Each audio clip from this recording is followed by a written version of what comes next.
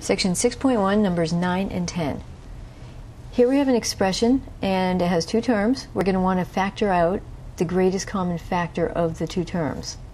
So the first thing I usually do is look at the numbers and think about the different factorings. Okay, 8, 8 times 1, 4 times 2, 4, 4 times 1, 2 times 2. So to have the greatest common factor, I'm going to want to think of this as 4 times 2, and this is just 4 times 1. And if you're not too sure about the greatest common factor, then use the process from the previous video clips with numbers 2 and 5 on them. Off to the side, just do out the factors for each one, look at all the different factorings, and see which ones have the greatest common factor. All right, so for the numbers, we're going to take out 4. And we're going to leave the 2 and 1 there. Now do the variables. What can we pull out? This one has two y's, this one has one y. So the most we could pull out is 1 because that's all that the second term here has. So we're going to pull out 1y. So what we do is we put the GCF on the outside and we're going to put the leftovers in parentheses. So factoring is sort of the opposite process of clearing parentheses. You're putting parentheses back in. Now this could be a useful skill later for solving higher order equations, um, unlike the linear equations we dealt with in the last course. We're going to have to solve some equations where you do have to put parentheses back in. All right, so we pulled out the GCF of 4y. If I pulled out the 4 here, I'm left with a 2.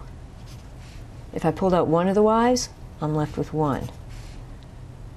And then bring the plus sign down, so you always just carry down the sign, unless you pull out a negative or something. 4 we took out, we're left with 1. Y we took out, so there's no variable left at all. So this stuff here is the leftovers.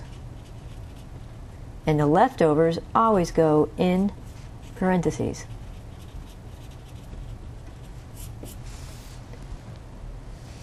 And that gives us our final answer. The answer is 4y times 2y plus 1 that would be a completely factored expression. One way to check that you did it right is multiply it back out. Get rid of the parentheses and see do you get the original back again, the 8y squared plus 4y. Well, if we do 4y times 2y, we get 8y squared, plus 4y times 1 is 4y. So yes, we get 8y squared plus 4y back. And that means that we did it correctly. Okay, so that's one example of factoring. Let's do out one more. Number 10.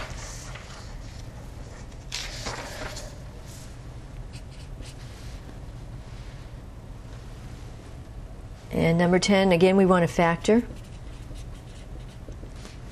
This one's got a little bit more going on. We have 5 x to the fourth y squared, take away 20, x cubed, y cubed.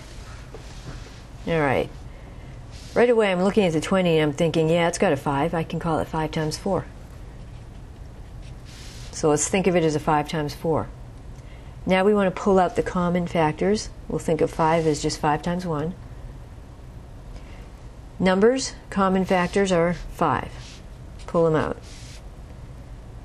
Variables, let's start with the x. 4x is here, 3x is here. The most they have in common is 3. So I'm going to pull out x times x times x or x cubed. y's, two y's here, three here. The most I can pull out is 2. So I'm going to pull out 2. Leftovers. Here I pulled out the 5. I'm left with a 1. I pulled out 3 of the x's, so I'm left with one more x. That gave me x to the fourth y squared, I pulled all of it out. It's gone.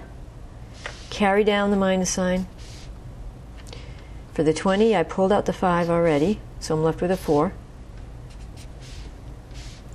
x cubed, we pulled out the entire x cubed. It's gone.